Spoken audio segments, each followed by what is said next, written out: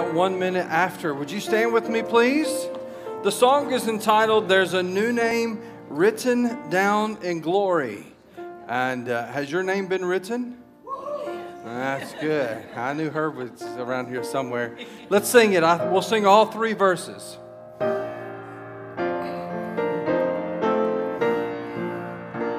I was once a sinner, but I came pardon to receive from my Lord.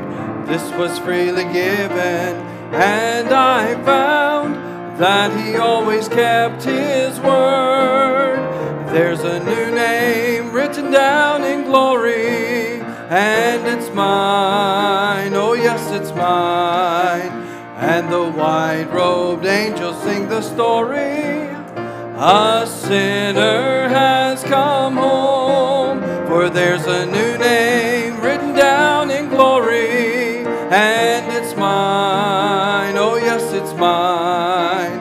With my sins forgiven, I am bound for heaven, nevermore to roam. Keep up with me back there, Jack. All right? Folks are not, I'm singing a solo, all right? Let's do verse number two. I was humbly kneeling at the cross, fearing not but God's angry frown.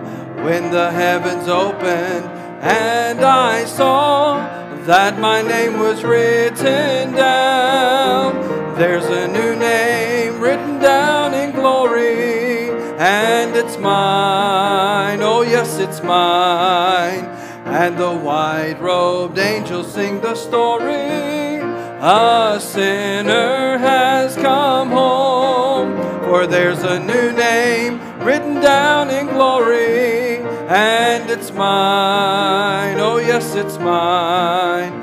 With my sins forgiven, I am bound for heaven nevermore. Before we sing the third verse, will you turn and greet one another, and we'll come back and sing that last verse in just a minute.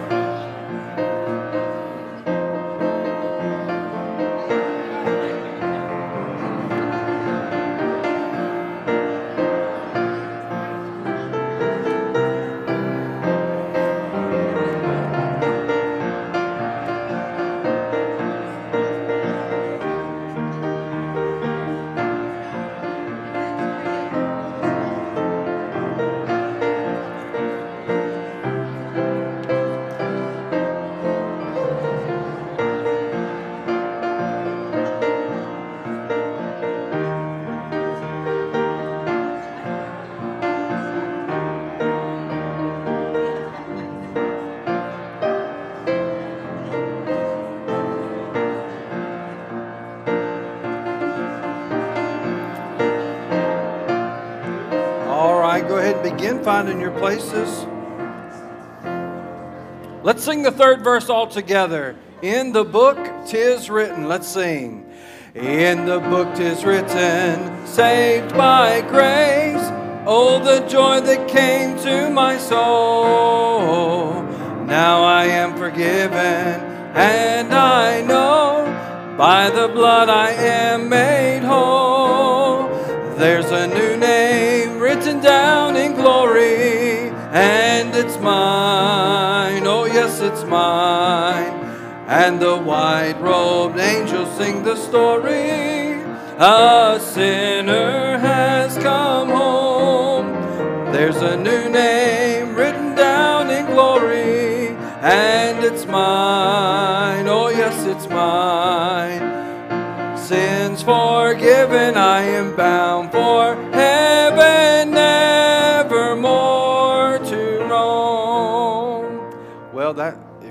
don't have a good gulp of air in your lungs, that song's hard to sing, but it's got a great truth and message, right? Amen. Amen. Junior Lugo, back from traveling the world, or at least traveling the northeast part of the country. Uh, would you lead us in prayer, please?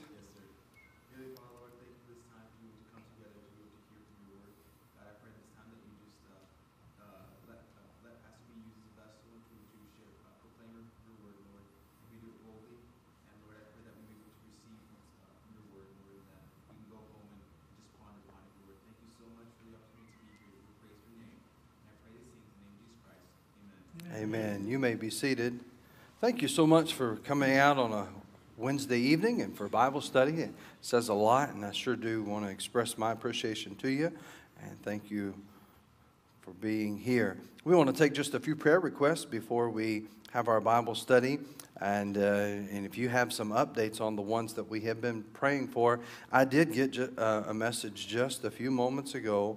Um, Mr. Don Canada uh, said, uh, My mom's in the hospital. Um, and he gives the room number. And if you need, uh, if you'd like to see her, I can give you that privately. He said, Mom's in the hospital. We need prayers.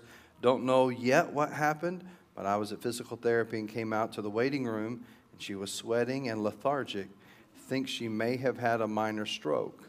Uh, we'll find out tomorrow. So please be in prayer for Don's mom.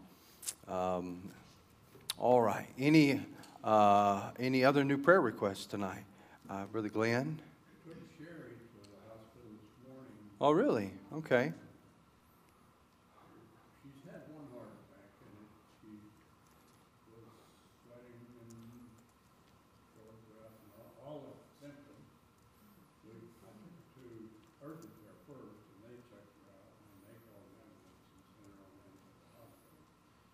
The doctors don't think that she had a heart attack, but she had something in there checking her out. Okay. She's in there over, at least overnight. Okay. All Sheriff Foreman. Um, okay. Oh, who? Anybody know Don's mom's name? Mary. Mary. Okay. Okay. Other new prayer requests tonight? Yes, ma'am. Miss Evelyn? An unspoken one. All right. Anybody else have one tonight? Yes, ma'am. Update? Uh huh. Yes. Um, he's still in the hospital, and it looks like he may be getting a pacemaker. Okay. Replaced a uh, valve. They were just supposed to fix it, they replaced it. Now it looks like they're doing a pacemaker possibly tomorrow. Okay. If you didn't hear that, Melissa and Cynthia's dad uh, potentially going to be having a pacemaker put in. And uh, so please, John du- du- Doobie? Doobie. Okay. No. uh, Okay. next week. Thank you. All right. Other prayer requests? Is that Wyatt? Hey, Wyatt, you got a prayer request?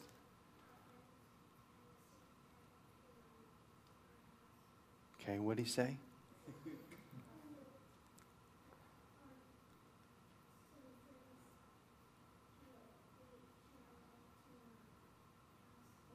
You have friends coming to your house, traveling. I'm praying for safety for them as they travel to your house. Oh, okay. Uh, do these friends have kids? Oh, yeah. Wyatt wants them there safely. right? All right. Deborah's doing better, but she still can't go without the oxygen very long at a time. Okay. Her medicine is helping. It is not?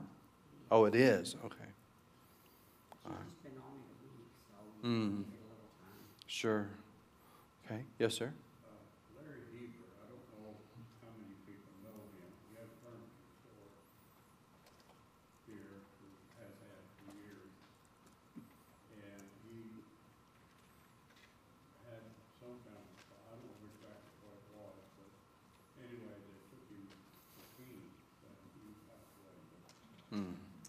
he Okay. has a a wife, and he, he, his wife was Todd, son-in-law's sister.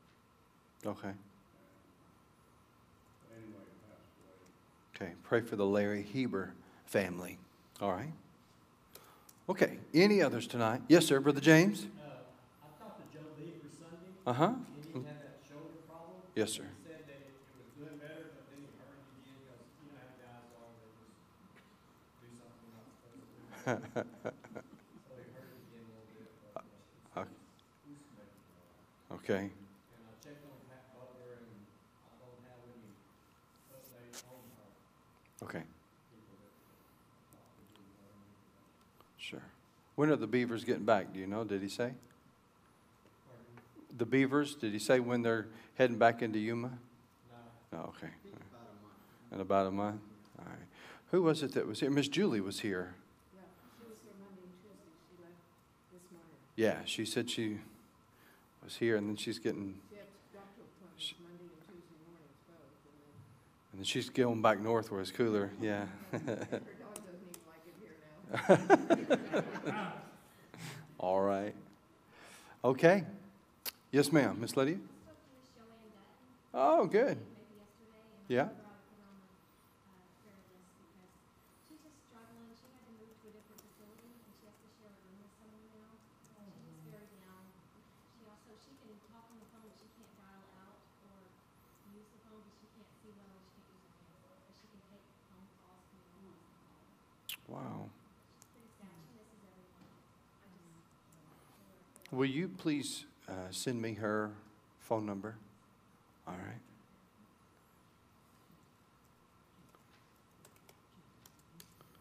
Okay. All right. Any others? Yes. Keep Melissa, because of all her testing. I'm concerned. Keep Melissa. My Melissa? Yes. Oh, okay. She's back there. Your mama wants us to pray for you. And that she's uh, having blood work done. Um, may I share? I haven't talked to you, so you. Okay. Oh, you got your results back today. It looks like I have rheumatoid arthritis, Mm. so um, she's, she's been aching a lot in my hands and arms and stuff. And Hmm. so distorting my hands a little bit already, so she's, anyway, doing that. Okay, I didn't. You all heard it when I heard it. Did you say rheumatoid arthritis? Is that what you said? Okay. Okay. All right. Any others? All right. Brother Herb, would you lead us in prayer, please, sir? Oh, Father, we just love you, we just praise you. I thank you, Father, for being a great provider. A great Father of peace, Father. I just pray that uh, you would be for each one of these prayer requests, and Father, pray for Don's mom. I pray for each one of these people. I just claim those verses where two or more are gathered. We're gathered tonight, Father, and we're asking in your precious holy name, Father, for healing for each one of these people, Father. And I pray for that family who has lost uh, loved one, Father, that you'll just uh, be with that family. Give them comfort and give them that wonderful peace that you offer that passes all understanding, Father. I just pray, Father, that you'll be with with each one of us. Help us to reach out to somebody that needs to know Christ as well. So that we might make a difference, Father, for your kingdom. Thank you for the great privilege that you give us to share your son with us, Father, with other people. And we just pray, Father, for the message tonight, Father. We could touch each one of our hearts in a special way. We ask these things in Jesus' precious holy name. Amen. Amen. Thank you, Brother Herb. We have been talking about the Hebrews, uh, the Hebrews, the heroes found in the book of Hebrews, Hebrews chapter 11. And uh, I, uh, um, uh, we, we talked first week, first um, last week about Abel, and we saw where Abel, um, he, um, the Bible said about him that yet he is dead, yet he speaks. Um, and so we learned about Abel's life that, um, or through Abel's life, what's required of us to be acceptable in the eyes of God. And uh, if you remember what, uh, what it is that God requires of us to be accepted in, or accepted by God, do you remember? Oh, wow. Okay, here we go. Hebrews chapter 11 is called the Great. Yeah, there you go. Oh, so I wonder what's required uh, to be accepted by God. There you go. And uh, just needed, I, I bragged on you last time, talked about how smart you were. Oh, maybe I need to rescind. No, I won't do that. I won't do that. Well, this, this evening, I want us to look at the next one on God's list of heroes as we've been going through this. And tonight we're going to look at Enoch and uh, Enoch or Enoch. We're going to see his walk, his witness, and his rapture. And you really can't talk about Enoch without talking about um, the rapture of the church. And we'll um, uh, see why here in just a, a few moments. Um, Hebrews chapter 11, um, as we go through this, we realize and we begin to understand um, that faith, faith really should govern every part of our lives. Faith should be a part of our everyday living. And that faith should cause us to, um, it should be involved in the decisions that we make. Our understanding of who God is and, and, uh, and His involvement in our life should cause you and I uh, to make de- decisions differently than someone, say, without faith. And so, Hebrews chapter 11, talking about that as we approach this man, Enoch, um, the Bible uh, speaks of him is really a, a mystery uh, about Enoch. I want you to see here Enoch, the mystery man. Uh, Hebrews chapter 11 and verse number 5. The Bible says, By faith, uh, Enoch, or maybe Enoch, however you want to say it, the emphasis there. By faith, Enoch was translated that he should not see death and was not found because God had translated him. For before his translation, he had this testimony that he what? He pleased God. By faith, Enoch was taken to heaven while still alive. That, I think, would be, I don't know how to say it, that would be really cool. That would be really cool to get to go to heaven and not have to go through the doorway of death. Um, no death, just gone. Just, hey, where's Enoch? I don't know. You checked Sam's place? No. You checked over at Mama's house? No. Where, where's Enoch? I, I, I don't. Let's let's look for him. No death. Just suddenly, he was gone. Um, uh, you might even say it would be the ultimate in the beam me up, Scotty. I mean, he's just any Trekkies in here. The Bible says that he could not be found, indicating that they looked for him that, that there was a search party put out, an APB was, was put in, into, into motion there. Where, where is Enoch? So, a huge mystery, don't you know? All of a sudden, somebody just disappears off the face of the earth. And you got to know that, that he was a, um, a man of great notoriety. It, it wasn't like just some sideline guy who maybe no one might miss, but he was someone of renown and yet uh, suddenly he's gone. Now, uh, next part, I want us to look at verse number six, following verse number five, obviously, but we always uh, quote verse number six by itself, or we read verse number six by itself. Uh, with, but without faith, it is impossible to please him. For he that comes to God must believe that he is, and that he is a rewarder of them that diligently seek him. Now, we like Hebrews chapter 11 but if you read Hebrews chapter 11 in context, it's in relation to Enoch.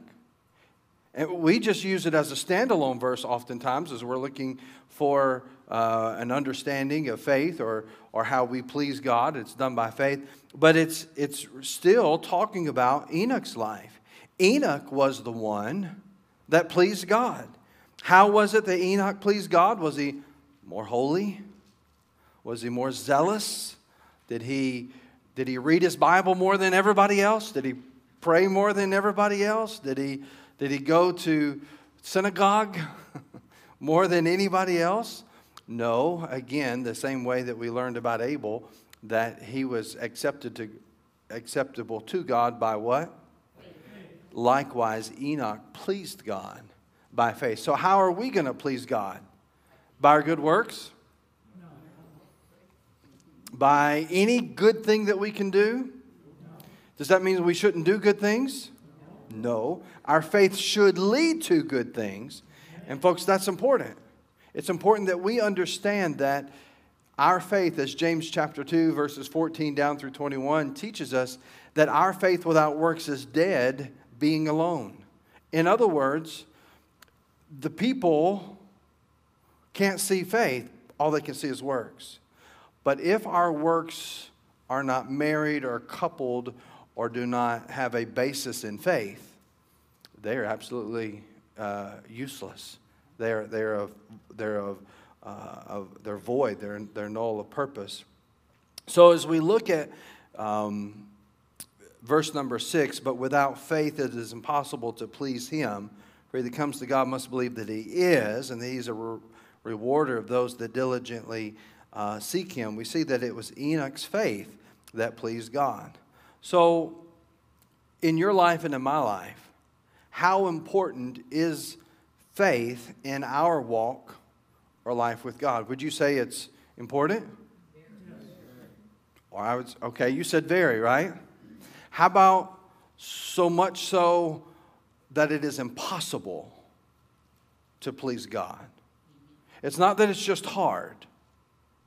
It's not that it's uh, that you could replace it with, with something else. It's not that it's just you, you're probably not going to please God without faith. No, God says it is impossible to please God without faith.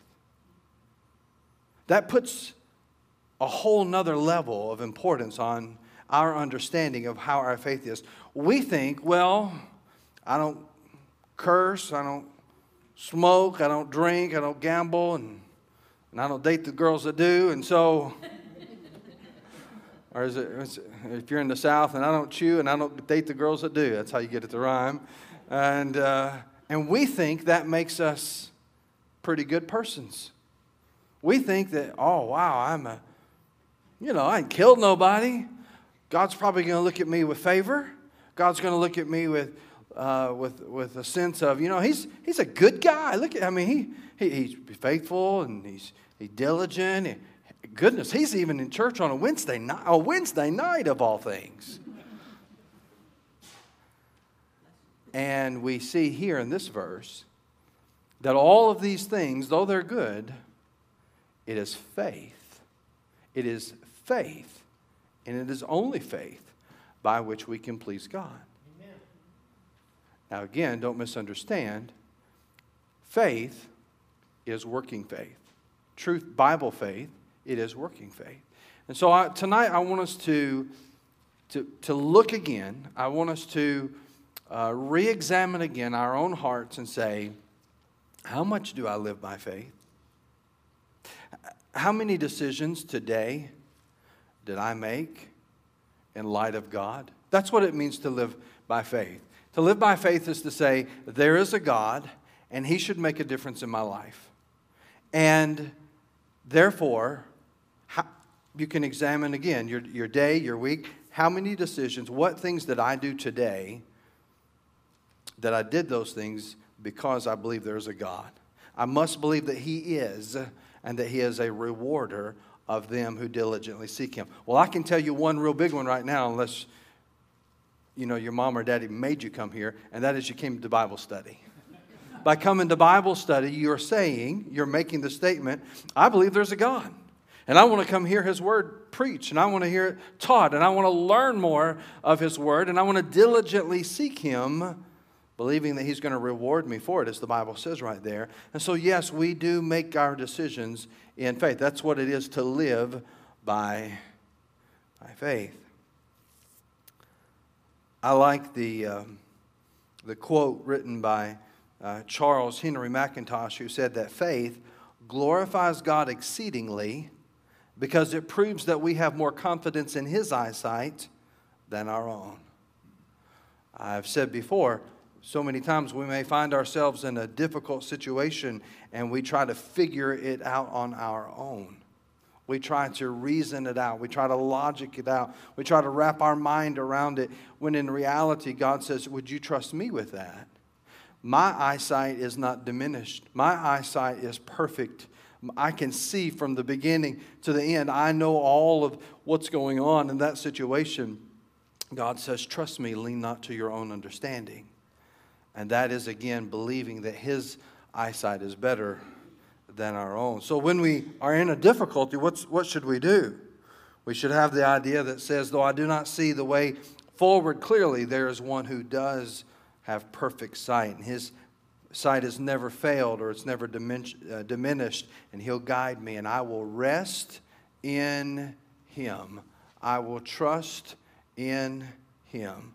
The first step to victory comes by saying, Though I do not see clearly, I'm going to trust in God. I'm going to trust in God. You know, it's kind of the simple childlike faith. Hey, um, come and uh, get in the car with me. And the kid says, okay. Believing mom and daddy can drive the car, take the kid where it needs to go. Or, okay, I'm down here, jump, I'll catch you. You know? And a kid will do that, right? That simple childlike, childlike trust, childlike faith. Uh, those of us a little bit older, we lose that childlike faith. We often like, well, I'm not too sure about you. you know, I'm not. I'm not. So you sure you're going to? You're not going to play a trick on me?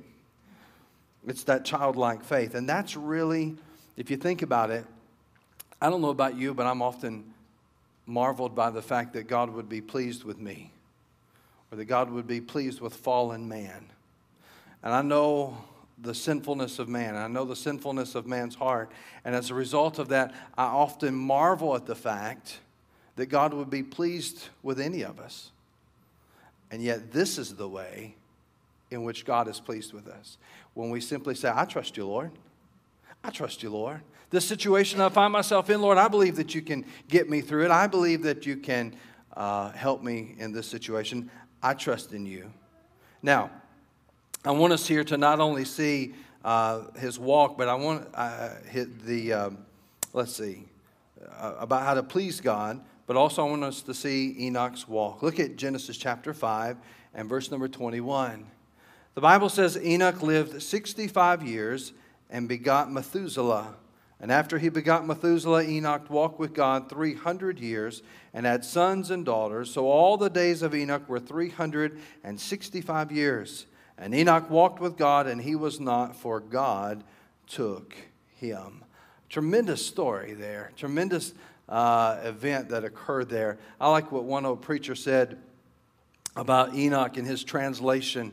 He said, Enoch took long walks with God. And one day, Enoch and God were walking, and they walked so long that God said to Enoch, Enoch, you're, you're closer to my home than your own. Why don't you just come on home with me? And uh, I like that. I, I, I, I, I want to emulate that my own walk. Uh, and I think all of us who, who have a desire to, as the Bible said, diligently seek Him, is to, to be close to the Lord. And I like that. So, what does it mean to walk with God? Well, the Bible says that even all the way back to Genesis chapter 3, where Adam and Eve were in the garden, that they heard the Lord walking in the garden. So you get the idea that mankind before sin, we were created with the ability and even purpose to be in fellowship and spend time with God. And that before the fall, I don't know how long it was that Adam and Eve lived before the fall, but before that occurred, you get the picture that God and Adam and Eve spent time together in fellowship walking in the garden. I don't know if that was weeks or months or years or millennium. I have no idea, but I do know that they walked with God in, in the coolness of the day, the Bible says. And so you get the idea that God desires, and that's what Christianity is all about, God desires for you and I to have a walk or a fellowship or a relationship with Him like it was before the fall, like it was when He had that relationship with Adam and Eve. But what does that mean? What does it mean to walk with God? Uh, Sebastian, come here a minute. I, I, need you, I need your help. Sebastian and I are going to walk together. Now, several things have to happen. If we're going to walk together, then, then we need to go in the same direction. Ready? Here we go. yeah, that's why I chose Sebastian. this is often what happens. We walk and we fall behind. Or we can get ahead of God. Go ahead of me. I'm going to play God in this position. That's terrible. And, uh, and, and we take things into our own hands. And we, we walking with someone, okay, now stay right here beside me, means number one, we're going to go in the same direction. We're going to agree at the pace in which we're going. Usually, for there to be a good walk, and uh, some of you husbands and wives may go on a walk together, and you're going to have fellowship. So there's chatting and talking. Talk to me. Yeah, that's right. have a seat. And we walk together. So there's the, there's the agreement of, of where we're going, there's the agreement of, of how fast we're going. But the real thing is, is that the walk, it's, it's I mean, you may walk for exercise. I get that. But when you're walking with someone, if you're going on a walk with someone, the whole idea is fellowship, right? The whole idea is, you, hey, let's take a walk together. Okay, so fine, but if you just walk and, you know, and you don't do any talking, you know, that's, you can get back and somebody's going to think, well, they must be upset with me or something because, and the whole idea of walking with God is just that. It is being in fellowship with God. It is spending time with God. It is getting on God's page. Can I tell you, when you walk with God, you don't set the pace. And when you walk with God, you don't set the direction. And when you walk with God, you don't even choose the conversation. He does all of those things. And when you walk with God, God leads us and He guides us. And the whole idea is to get on His page and agree with Him in all the areas of life as we spend time in fellowship with Him. Can I ask you a question tonight? Does your walk sound like the kind of walk where, like a, a newlywed, they just can't wait to. He gets off work. Oh, she's thinking. He, he's on his way home. And he texts, I'm on my way home. Um, or I remember when my wife and I were dating, I don't know if we had text messaging back in the, those days, but we had, we had cell phones and uh, we didn't text message, and that was before Facebook. Imagine a day. And, uh, but I remember we would, um, I would leave her home, and she lived about 35, 40 minutes away from me. And I would drop her off after having a date, and I would, I would drive back home, and, and I'd be on the phone with her the whole time, all the way there. And I'd go in the house and, and, um, uh, and, and still be on the phone with her. And I'd get ready for bed, and I'd lay the phone down on, on the counter in the bathroom, and I'd still be on the phone with her. And I'd turn off the light in the bathroom, and I'd finally get to the bedroom, and I'd still be on the phone with her. And I'd lay in the bed, and I'd turn off the light, and I'd still be on the phone with her. And we'd be talking, and eventually it would, be, it would end like this Hey, are you there? Are you there? Uh, uh, yeah, yeah, yeah, I'm here. I'm here. well, okay, yeah, I, I'll talk to you tomorrow, okay? Love you, bye. You know, that sort of thing. The idea was we just, we just wanted that communication, just desired to just spend the. When I was in Bible college, I. Um, everything was about 40 minutes away. The Bible college I attended was about 40 minutes away. She would get in the car and ride with me all the way to Bible college and I would go to class for three hours as she sat in the parking lot in the car doing other things, maybe homework for uh, high school. And we started dating, and I was in college and she was in high school. I married, I robbed the cradle. But anyway. and then when she was in college, she, uh, she would be doing homework and all. But, but why did she do that? For that 40 minute trip there and that 40 minute trip back just that spending time together. And as you can tell lately, we hadn't spent a lot of time. I learned about the rheumatoid arthritis the same time you did. And uh, very, very busy, busy times. But, but it's, that, it's that sweet desire to have fellowship, to enjoy one another's company. Folks, as neat as that story may sound to you, or as corny as it may sound to my kids, uh, our sweet fellowship with the Lord ought to be that and so much more. And our heart's desire, they that diligently seek him, the Bible says. He's a rewarder of them that diligently seek him. Yes, sir. Christ, gives us a perfect example in eleven twenty-eight when he says, take my yoke upon you, so that we do walk together at the same speed, the same pace.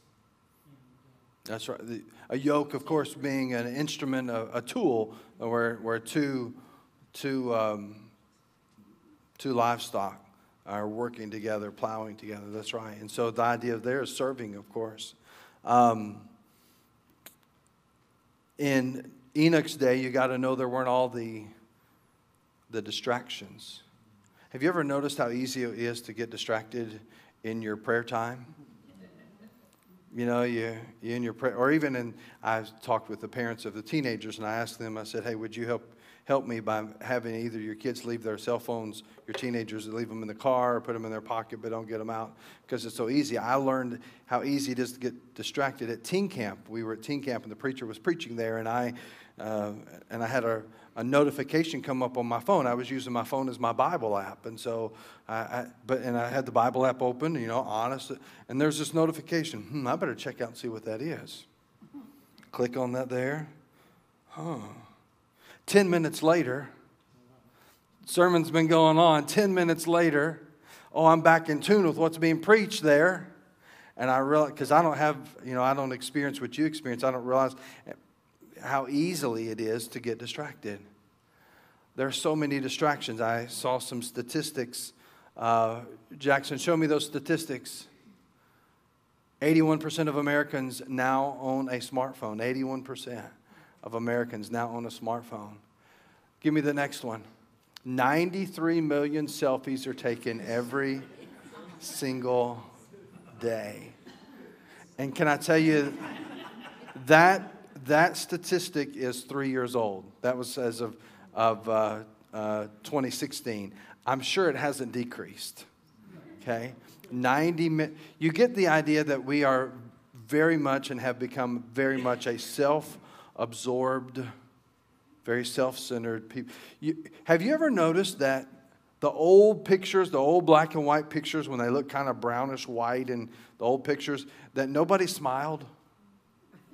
You ever notice that? All the pictures is because they just didn't do that. It was a, it was a, a stern countenance, and, and a picture was just something that, you know, it's just, it's not something that you did every day, you know. But now 93 million um, selfies are taken every day. Here's an interesting statistic. Show me the next one.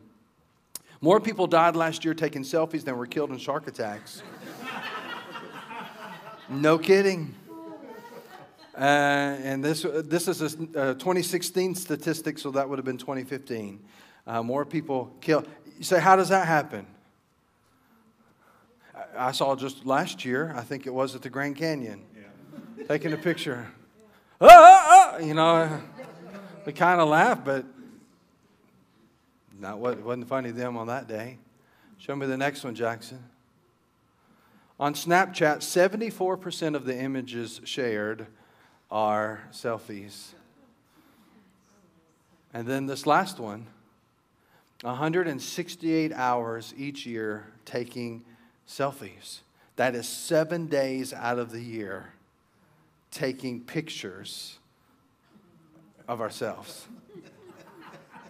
S- seven days out of the year are spent doing this. Yeah, no, that's not my good sign. Raise my, raise my chin so my double chin disappears here. There you go. Seven days. I, do you get the idea that we are very distracted? You go into a waiting room, you go to any place, you have to wait in line for 10 seconds. You're sitting at the red light. You know? You, you, I have to say, I'm guilty. You sit in the, in the waiting room someplace. I don't like sitting in waiting rooms anyway. I think doctors ought to have more respect for my schedule. But anyway, nobody talks. Everybody's like this. What's wrong with me? I'm going to Google it, figure it out right here. Self diagnosis here. You know? Um, we're very distracted and we're very self focused, but that was not the case in Enoch's day. Enoch was a man who diligently sought the Lord.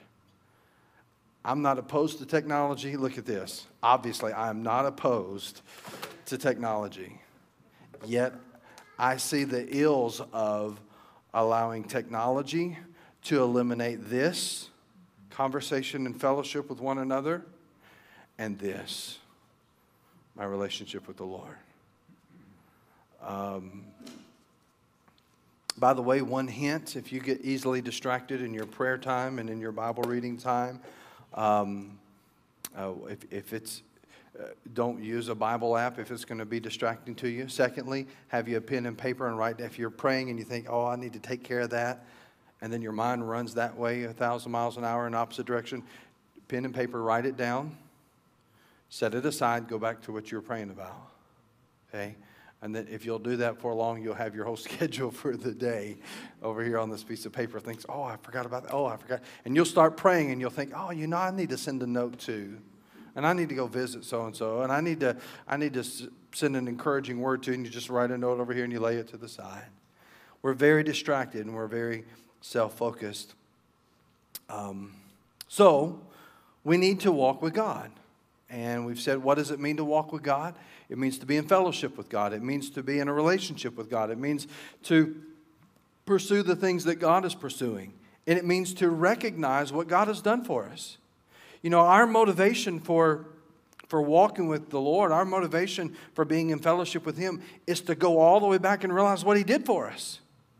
You know, if you say, Well, I don't feel close to the Lord, then you haven't spent enough time thinking about Calvary. You say, I don't feel like I, I'm drawn to the Lord. I, I want to love the Lord, but I, to be honest with you, Pastor, I just, it's just not there. You need to spend more time at the cross. You need to spend more time thinking about the sacrifice that was paid for. That is, you got to say, ah, it's got to be more than that. No, it's not. That is the ultimate driving force, that is the ultimate motivation for your and my devotion to the Lord is the cross. It's Calvary. It's understanding that I was at odds with God, but God has brought me close by the Son. It's understanding that one of my sins, just one of my many, many billions of sins, just one of those would have been enough to send me to hell. But all of my sins have been forgiven by the sacrifice of the Son, the blood that was shed. It goes back to realizing who He is and what He's done for us. I saw a story that illustrates this. You can learn a lot from a penguin. Dindim was sick and dying. He had been coated with oil when he was found by this retired Brazilian bricklayer who took Dindim in. Show me the picture, Jackson. There he is. The retired Brazilian bricklayer, and I'm going to just refer to him as that because I can't say his Brazilian name. Um, took him in, he washed him, he cleaned him, he fed him, he gave him a home literally, quite literally, he gave the little bird new life. Eventually, the bird left to go off to go to the very southern part of Argentina, 8,000 mile, 8,000 kilometer journey. And everybody thought, well, that's the last they're going to see. And the man, the, the retired Brazilian bricklayer, uh, is going to ever see him. But amazingly, one year later, Dindim showed back up. And he came back, and as soon as this man there, show me the next picture, Jack. This man who lives right on the coast there near Costa Rica, uh, as soon as he saw him, the little bird went to squawking and wagging its little tail. It immediately recognized this guy who had taken him in for a few months and cleaned him up and given him new life. And of course, it was exciting. The whole town was, but that little bird wouldn't have anything to do with anybody else. I mean, it wasn't as though he had become tamed and now is a people. No, just this one. Just the one man who took him in, cleaned him up, gave him new life. He came, he was there for a number of days and then left. But now every year, he comes back to this little harbor spot and he makes that swim 8,000 kilometers each and every year. And every year, this man gets to see a little Dindim. Why? Because Dindim was a grateful and thankful penguin. Can I use the obvious illustration? We can learn a lot from a grateful penguin. Huh? If that, if a, if a dumb bird is smart enough to come back to the one who gave it new life, gave it a chance for life, then shouldn't we? Shouldn't we at least express our gratitude to the one who paid the sacrifice for our sin? At least more than once a year. That's a good point, also. Yeah. Let's go quickly to Enoch's witness. Genesis chapter 5 and verse number 21. Enoch lived 65 years and he begot Methuselah. Anybody here 65 years old? Anybody 60, 65 right in there? 67? How would you like to have a baby right now? Anyway. 65 years and he got, begot Methuselah. And then after he begot, notice this, it's interesting to me in verse number 22. When did Enoch begin to walk with God? After he begot Methuselah, his son, Enoch walked with God. Kids will drive you to the Lord, won't they? Kids will cause you to have to pray. Now, it's interesting because Methuselah's name means something. Methuselah uh, came, no, no, no, give us that. Back up.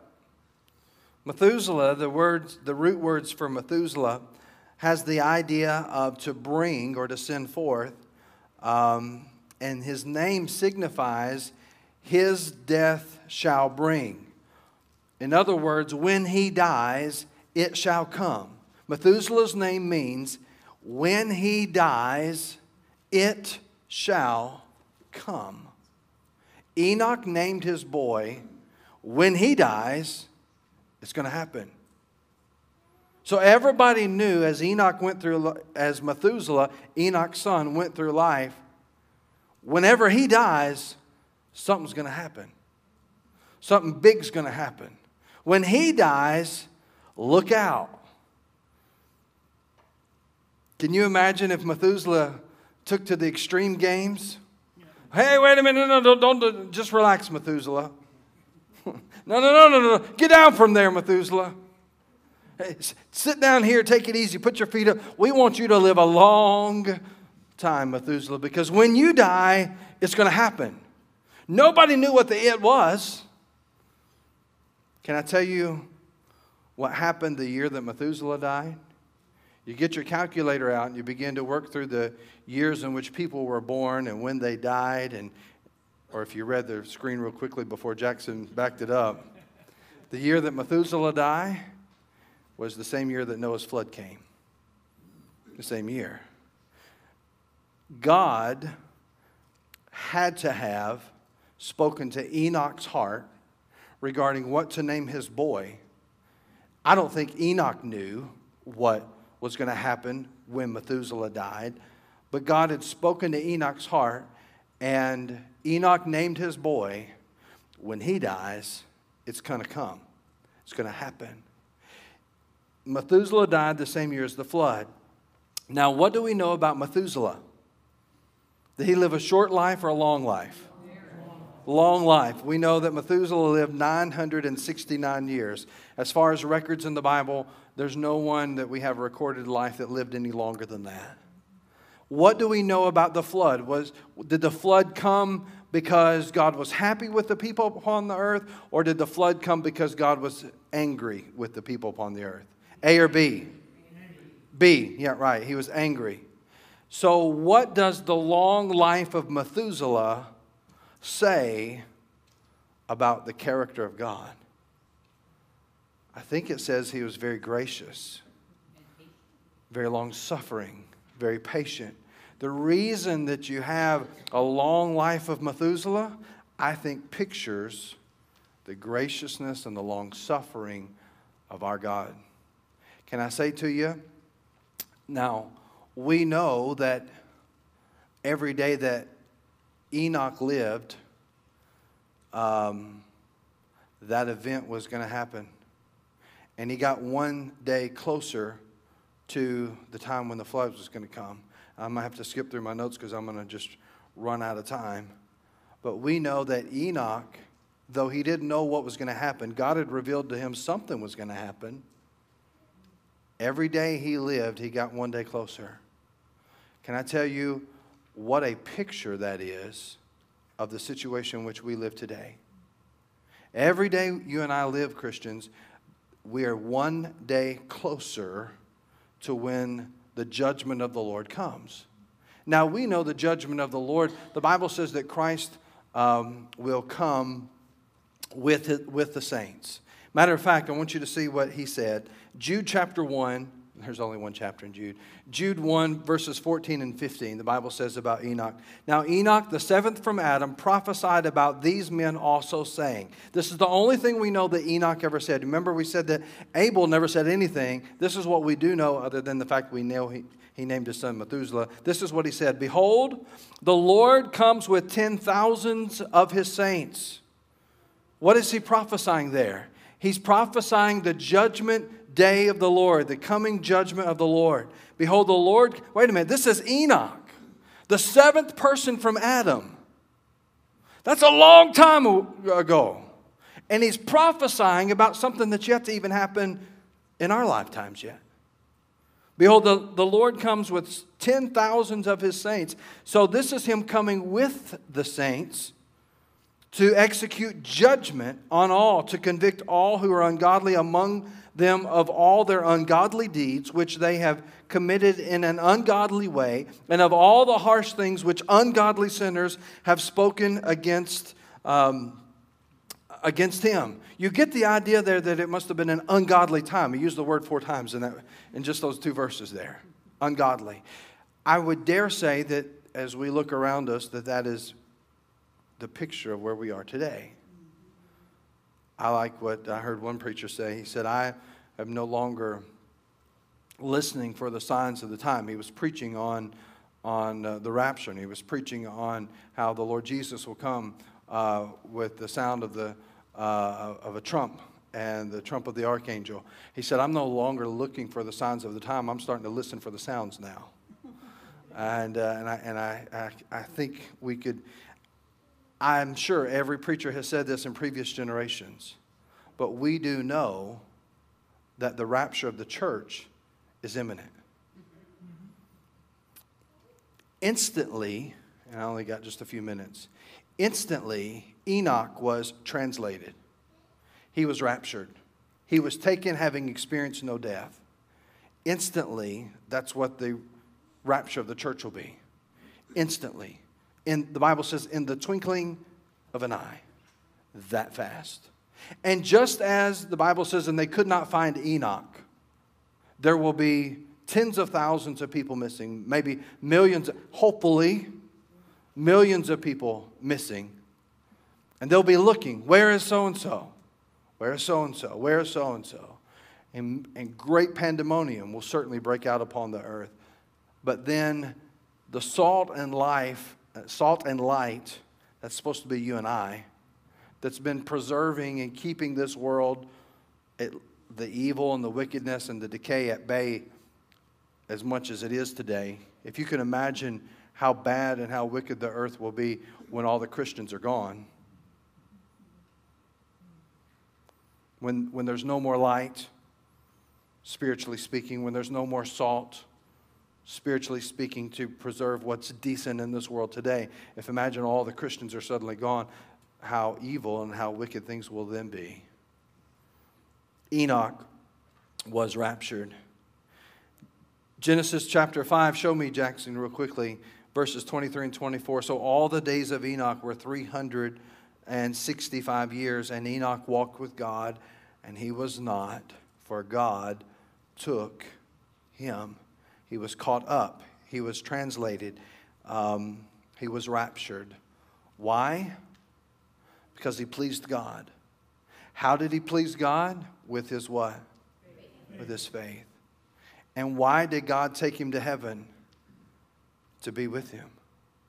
Precious in the eyes of the Lord are the death of his saints. I want to show you one more verse before we close. John chapter 14 and verses 1 through 3.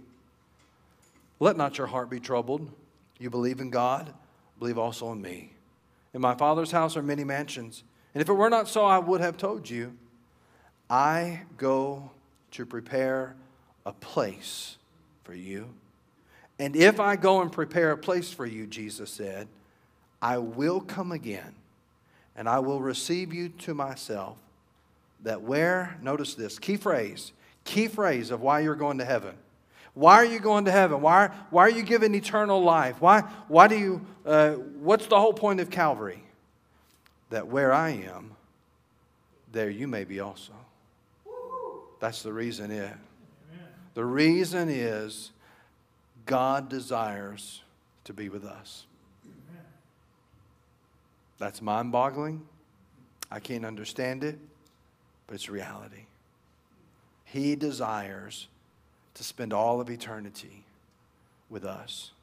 I don't even want to spend all of eternity with me. I don't even get along with me that well. But God desires to spend all of eternity with you, with me, that where He is, there we may be also. For the Lord Himself shall descend from heaven with a shout, with the voice of an archangel, and with the trump of God. And the dead in Christ will rise first. Then we who are alive and remain shall be caught up together with them in the, in the clouds to meet the Lord in the air, and thus we shall always be with the Lord. Enoch was and then wasn't, was present and then was absent, was translated, was raptured. Why? God wanted him with him. Before the Lord can come with his saints, he must first come for his saints. That's what we call the rapture. That's how we, one of the ways that we understand that the rapture is real, because the Bible talks at the judgment that at the judgment day he comes with the saints. Well, the only way he can come with the saints is if he's come first for the saints. Seven years later, he comes with the saints, and that's the prophecy that that uh, that Enoch uh, spoke of, that's recorded in Jude, that he's coming with the tens, tens of thousands of his saints. Um, there's a whole lot of interesting. Genesis is the first book of the Bible, and yet it tells us so many things about the last days, about things that haven't even happened in our lives. It's really a fascinating. It could not happen unless, well, unless it's a God-inspired book. Unless, unless there's something about that book that is for real. All of the prophecies of Christ were fulfilled perfectly when he came. All of the prophecies regarding Israel are being fulfilled perfectly. And just as God has fulfilled his prophecies about his, his son and about his people, he will fulfill his prophecies regarding when he returns and the end of time. Um, sometimes it seems like a fairy tale. Sometimes it seems like a sci fi movie. There have been movies on it, you've probably seen them. But the reality is, it's reality. It's for real. Lord, we ask that you would help it be real in our hearts and lives. Lord, help us to understand that, your rapt- that the rapture of the church, your return, is imminent, that it could happen even now, that there's nothing that has to precede your return for us. And Lord, that should make a difference in in our lives. That should make a difference in how we know that you're there and how we live by faith, living and believing that, that you're involved in our lives and that you desire to be involved in our lives. Lord, help us to live in light of eternity, to live by faith. Thank you, Lord, for the truth of and the, the hero of faith that we find in Enoch, that he pleased you by faith. Help us likewise, too, to live by faith. We ask your blessing, please, in Christ's name. Amen. Thank you for your attention tonight. You are dismissed.